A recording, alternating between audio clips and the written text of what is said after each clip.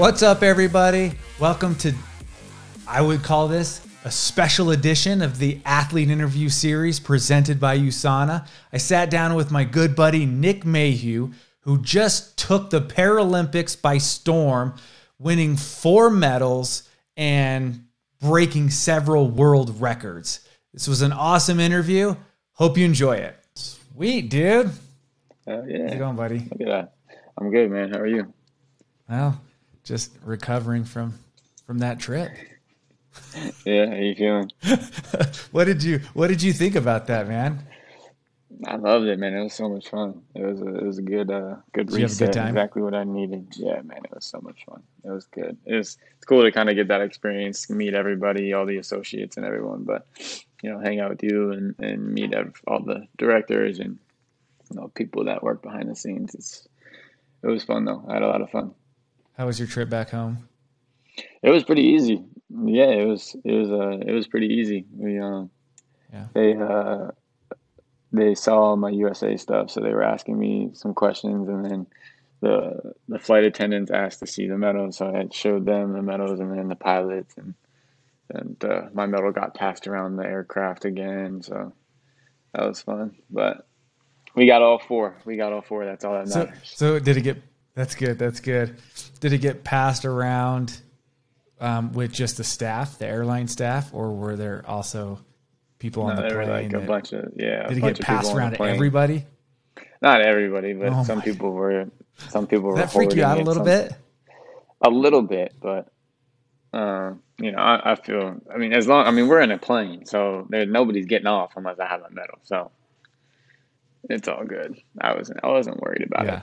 So, um, Alex Kopacz, my good buddy Alex, Mhm. who won a gold medal in Korea. Mhm. I told you about the time that somebody dropped his medal and bent it. it. Yeah.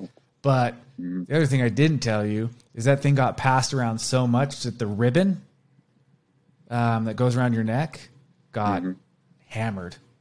Oh yeah. Had to, you had to get a new one because it was Dang. silk, and yeah, it Oh didn't, okay. it didn't uh, didn't hold up very well.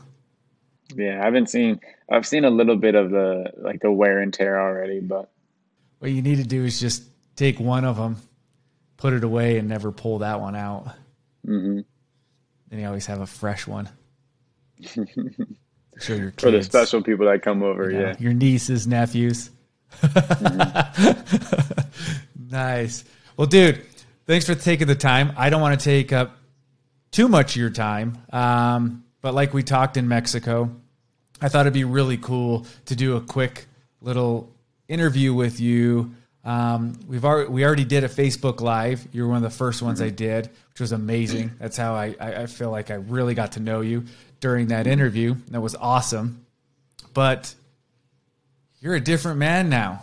I mean, you know, you were talking about your goals and aspirations in the last Facebook Live that we did um, when we were doing them on Facebook. So that was a while ago. And now all that came true.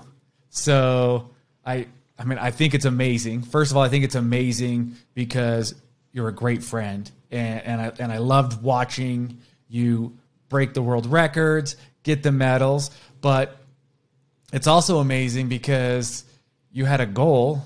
You you you set that goal. Um, you told people what you were going to do, not what you wanted to do, and I thought that was cool. It was something we discussed with with a lot of the um, uh, a lot of the people that attended the the, the Mexico trip. Um, but yeah, let's let's walk through that a little bit. Let's walk through through the Olympics because I think that's something that a lot of people don't understand the everything that goes into it. I mean, first of all, you know, everybody most people probably know all the training you did, all the, you know, all the sacrifices, all that to, to get to where you uh, to where you got. But what was it like actually hopping on a plane to go over to Tokyo? What were those feelings when you landed and that and that whole process? Yeah, I mean, it was. I, I, tried to control as much of it as I could, and that's one of the things that I learned along this process is that one, I was completely new in this environment, in this world of track and field and the Olympics and that entire realm of elite sport. And so knowing that, um, you know, having the experience of playing with the national team, having the experience of going to international tournaments and playing in those and medaling and, and having, you know, that elite experience, but you know, that's sort of to a certain extent, you know, and then when you go to the Olympics and you're, you know, you're there for this sport and you represent your country at the Olympics or the Paralympics and it's at that level, it's a completely different world. And, you know, so I took what I learned from playing soccer within the national team and everything and really tried to apply it to my trip to Tokyo and sort of looked at it and understood that it was a business trip. You know, it was obviously there weren't there weren't fans, the environment was a little different, which made it easier to really lock in and, you know, my, my family and my friends and my coaches, my personal coaches back home weren't able to come. So it was it really allowed me to really, you know, go at it at a different angle from a different perspective uh, as a professional. And, you know, so I tried to, you know, getting on the plane and, you know, not even looking at my phone, not even looking at, you know, the schedule to everything and just kind of just enjoying that travel, you know, having it be a 13 hour flight. Um, you know, enjoying that and understanding what that is, and then getting to Tokyo and then seeing you know, getting off the plane, seeing all the volunteers, seeing the Tokyo 2020 advertisements and the signs and, you know, all of that. And then, the, you know, you just try to control the way you feel. And it's a, it's an overwhelming amount of every emotion that you could think of, you know, just excitement, nervousness, and, you know, just kind of scared a little bit of like the uncertainty of what is going to happen in the next, you know, month.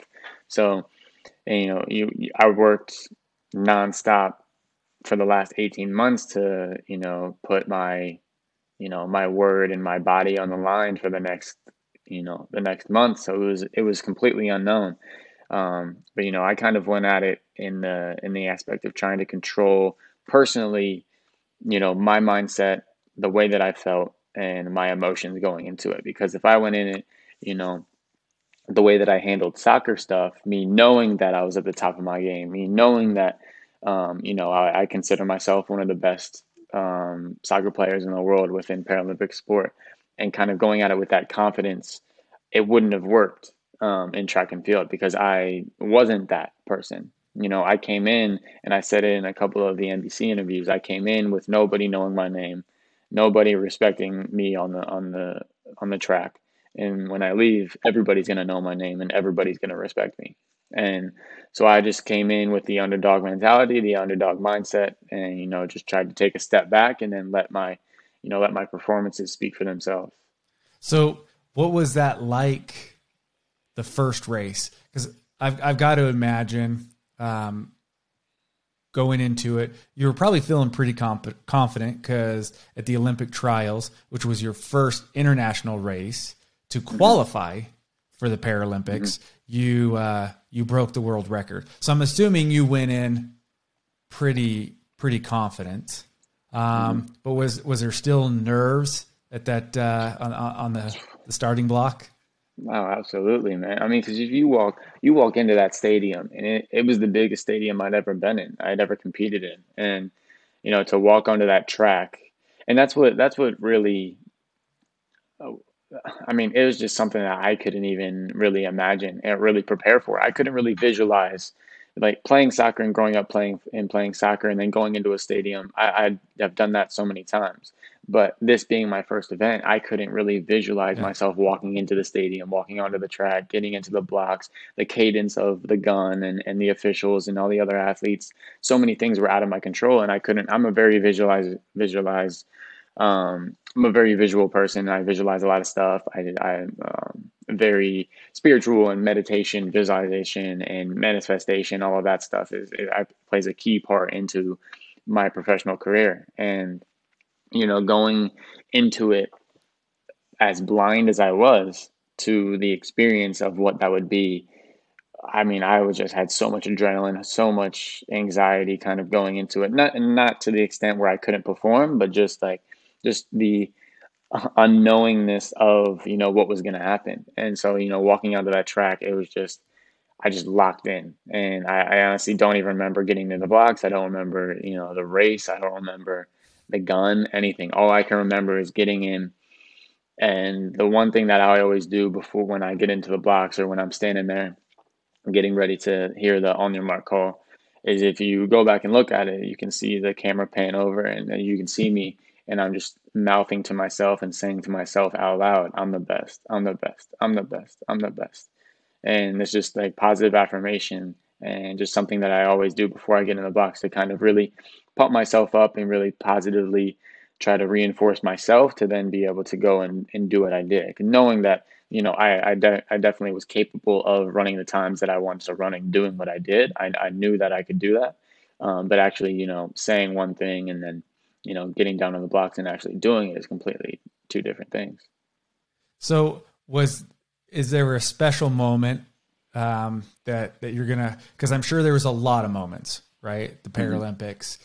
Um, that you're going to remember forever. But is mm-hmm. there a particular one that, that that when you think back, it's the first maybe the the, the first thing that pops in your mind? Not not not one that uh, honest. I mean, probably probably me screaming across the line and you know looking at the clock with 20 meters still left kind of doing that and just because i had i didn't want you know i didn't i didn't plan on doing that i didn't you know that I didn't really understand. I didn't really know what I was gonna do, and then as soon as I did it and felt how fast I was, felt you know I just felt so much better than I thought I was going to, and I had never felt that fast before. And there's actually it's funny because the I spoke to my coach after I ran a couple of these races uh, of the 100 after I finished the 100. Um, the one of the first 100s that I ran, I actually uh, it was at a at High Point University in North Carolina. And it was an open Division One university yeah. meet amongst other Division One athletes that run track and field and have been doing it their entire life. You know, I just threw myself in there just to get the experience of a competitive meet. And I remember getting out of the box really well, running really fast, and towards the end of the race, you can tell that I'm not used to running that fast because I start to fall over and then I I like start to fall over and kind of fight it and stand back up and it messed up my race and I ran slower because of it because I fought it. And you know, and it's funny because after I ran the 100 after I broke the world record and run as fast as I'd ever ran in a race, my coach, you know, one of the things we spoke on was, you know, it's funny how I didn't even fight it. I didn't I didn't I wasn't falling over. I wasn't trying to run faster. I just like let myself go and let my and just trusted my body um, you know, and everything. So that's probably it surprised me and that's why I kind of like was I know I, I could obviously see that I was out in front. I knew I was out in front. I knew I was going to run the race, but I just didn't know how fast I was going to run. So then that's when I pan over and look at the clock, and I'm staring at the clock for the last like 15 meters, just looking at it and knowing that I had broken my own world record, knowing I had won, and then just like screaming, just oh my god, it felt so good, man. It was, that was fun. Yeah. And then uh, that last gold that you got um, that one, you know, we talked in Mexico. That one was pretty emotional for you, right? Yeah, absolutely. Um, yeah, and then you know that I spoke to my brother about it, and that's the reason why I was so emotional. It's because you know my brother is one of my coaches. He's been you know with me uh, every single day along this whole process, and um, that one was definitely a special one. One because it was the 200, and it's something that you know my coach and, and Thomas uh, like knew that was probably going to be my best race, and they knew that I was probably going to run the fastest in that race, considering the certain times and what I was going to run. And then you know it, it's the one that you know I struggled with the most. You know I I couldn't really um, I couldn't really break that barrier that I wanted to. That 22, I couldn't get under 22, um, and I really wanted to. And, and uh, the night before, um, Thomas, we were on a FaceTime call, and with my family and he and he said you know you're gonna you're gonna run 21 9 and then i ended up running 21 9 and so you know to run to to win that race knowing you know the the you know my hamstring was about to go i definitely wasn't 100% going into yeah. that race.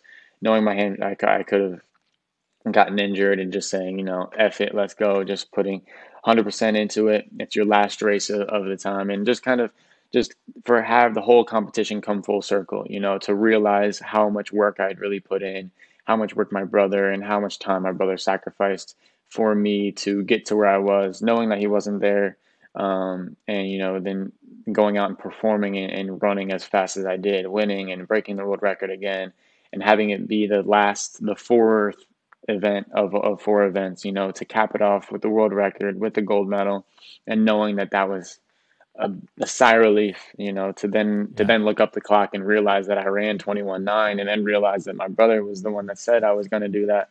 You know, it was it was a lot and it's just I just allowed myself to just feel it all, you know, and just just trying to take it all in and it it was overwhelming for sure, but God, I was like, oh, that was awesome. Yeah, that was that was definitely probably the best moment of it all. And and it was it was fun watching and it it felt like when I watched the interview live after after you'd won it, to me it also felt like maybe there was some weight lifted off your shoulders. You went there to accomplish something, you did. That was the last step and it just it seemed like that was the time that you you did kind of let go and and and just you know let everything let everything yeah. go. That was definitely yeah, that was definitely the moment where it kind of just initially hit me that you know I was done and I did it. And you know when I when I looked into the camera and I said I was speaking directly to my brother and I said you know we did it. You know I'm coming home, and that was kind of the moment that I realized that. Yeah. You know that the amount of time that we put in together to get here, you know the how close we got to just quitting, uh, how close I got to just quitting and just trying not to do it. And you know, it, it just really goes to show that if you put in the work to do what you, you know, you set out to do and how good it feels when you actually do it, you know, and, and, you know, I talked a lot and I, I, I set myself up to, you know, do extraordinary things that had never been done before. And, you know, that's just the type of athlete I am. I want to continue to try to push myself to certain limits that no one has ever gotten to. And, you know, I have never been at physically and mentally and emotionally. And you know, to really push yourself to that extent, uh, there there's very few people that can really wrap their head and understand that. And you know, that was that was just a very emotional emotional moment of realization that you know, I I put all this work in, I did it, we're done. You know, so. Ah, sigh relief, but a good sigh relief, not a bad one when did it actually sink in? I mean, you putting those four medals around your neck. Like, has it sunk in yet? When was that moment where it where it really you're like, wow, this is this is not a dream. This actually happened. It hasn't it hasn't hit me yet, you know? And I think it, it really hasn't. I haven't really had that moment to where I'm like, you know, that uh that big gasp or that big, you know, that big breath. And then I'm like, damn, like I, like that, I really did that. I really, you know, came home with it, like did all the things. And I mean, if you, I, am never going to list them out and be like, oh, I, you know, I'm never going to have that moment just because that's not the type of person that I am. But, you know, that that's all for the media and for other, for Team USA and, you know, the fans and everybody to be like, you know, you should be happy you did all this. And I am, you know, but it's very, I think because I came at it at a different approach that I had other stuff. I think because I, I spoke about it so much to myself. You know, the first thing that I did was look up the world records and write them on a piece of paper in big Sharpie and tape them on every single wall of my house. And it's the things that I would look at every single day. It was things that I would, you know, focus on when I was training and you know the things that I had already been speaking into existence and I sort of expected all of this to happen. And that's why I don't think that I really had an an aha moment or you know a big realization moment because I expected this to happen. You know I I I really believed that I was going to do what I did. And I don't think I think that there definitely will be a time that I'm going to be like like and just kind of like be happy for myself, you know, and be proud that I did what I did. But yeah, externally, you know. But I I mean internally, it's it's all there, and I just am very comfortable and uh, I'm very accepting of all of the, everything that happened. So it's just everything that is else to come. Eh, that's that's for everybody else. So I'm good. Yeah, Yeah. I mean, that you bring up a good point, and I've had a handful of conversations uh, with you over the last year, year and a half. Um, and and it's interesting because you always believed in yourself. Like you went in there knowing what you were going to do. So mm-hmm. it, it, makes sense that it wasn't a shock to you. Um, you know, maybe a relief, but definitely, definitely not a shock. Uh, mm-hmm. Whereas to everybody else watching it, man, you put on a show, put on a show that that outside of your outside of your close circle, nobody expected. Mm-hmm. Thank you. Yeah, and that's and that's that's kind of something that I've come to realize too. It's a what I did is, you know, was considered to be impossible, you know, by a lot of people. And and I always like use that as fuel and use that as like motivation and stuff. And you know, those you and those people in my circle and that understand, you know, the way that I work and the way that I talk and everything, you know, and sort of expected it. But you know, it, after when I got home and when I saw like social media um, sort of be the way it was, and you know, people post these things, and the amount of stuff people were saying, and the amount of stuff people were posting, then it was like kind of like, like okay, so that it's it's at this magnitude, you know, like it's that that's kind of crazy, you know, and that's sort of I had that realization, yeah. but you know, that was for other people to come to me and be like, dude, like I had no idea that this was what it could be like. Did it like? Yeah. What? You know, and it was a very that was the shock factor for you know everybody else, but and it was just kind of like a told you, uh, you know, that's like a little moment of me being like, I, I mean, I told you, you know. Yeah. But thank you, I appreciate that. You know, I I. I I tried to I tried to put on a show as much as possible, you know, just try to be myself and have fun with it and enjoy it and you know, if I put on a show, some people loved it, some people hated it, but can't make everybody happy. Hey, I thought it was amazing. I thought it, I thought it was I thought it was fantastic. It was it was just unbelievable. You know, I always tell people uh, I've I've got a really cool job because I I get to meet and hang out with people like you, become really close with people like you, which then changes it for me. Like watching mm-hmm. the Paralympics was completely different for me than it than it's ever been. Watching the Olympics before that, just knowing people in it, it's mm-hmm. you know, I, I can't even imagine how your family felt watching you just just because the nerves that I got. But I mean, it had to have been tenfold for your uh, for your family. And speaking to your family, what was that like coming back home from the Olympics and, and or from the Paralympics and then and you know seeing your family. Yeah, that was that was the the perfect uh, you know cherry on top of it all, and because they they completely surprised me. You know, I knew I thought I knew for sure my brother had something planned. I knew he was probably going to do something, um, and so I was kind of expecting that. But you know, to go home and and to to see you know my mom and my dad and you know all my cousins and then you know some of my friends show up and and you know the amount of fans that were there and really just come home and be able to hug my mom and you know hug my dad and and my stepmom and just hug the people that you know were were there for me and, and have supported me every every step of the way and you know talk to them after every race and really just get to see them on the phone but you know to come home and you know put the medal around my mom and you know put a medal around my dad and just see like just the joy in their face and their body and you know just to have them kind of have have that aha moment of like like you know I go wow you know just that was that was the coolest yeah. part and that's the you know that's why I do it just to be able to you know make them proud and you know kind of give back to to everything all the sacrifices and time and yeah. money especially that they've put aside for me. And, you know, it's, and they're the reason why I do what I do. But come home and, and to have that was so, so incredible. It was, that was the perfect welcome home. That's awesome. So, last thing, I'll let you get going because I do appreciate you taking the time. I know you're super busy. You got a lot of people pulling you in uh, in, in different directions.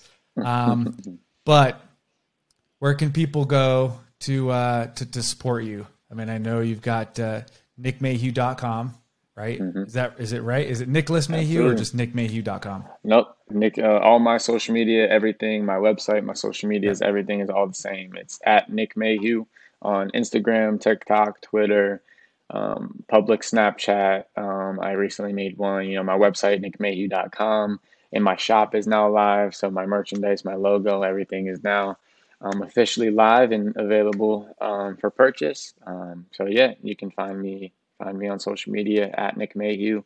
And um, thank you for your continued support. Thank you, Jason, you know, for being such a great friend and motivator and, uh, you know, somebody just to have on my, have in my circle and on my side. I can't tell you enough, man. I appreciate you. So thank you. Hey, we appreciate you. Love supporting you. Love the friendship. And, uh, and I got to say real quick, that Nick Nick Mayhugh shirt that I got, one of my favorite shirts. So anybody watching this, go check out his website go buy a shirt, show him some love. Um, but uh, again, really appreciate appreciate you taking the time today, Nick. Absolutely, man. Anything for you.